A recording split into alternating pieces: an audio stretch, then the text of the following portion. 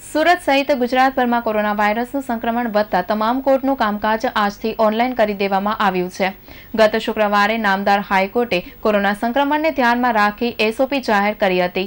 જેના પગલે આજથી સુરત કોર્ટમાં વીડિયો ઓનલાઈન દ્વારા કોર્ટની કામગીરીનો પ્રારંભ કરવામાં આવતા આજથી કોર્ટ સંકુલમાં તમામને પ્રવેશ બાંધી ફરવામાં આવે છે. આજે સવારથી જ આજની તારીખ માટે આવેલા પક્ષકારોને પાછા ફરવું પડ્યું હતું.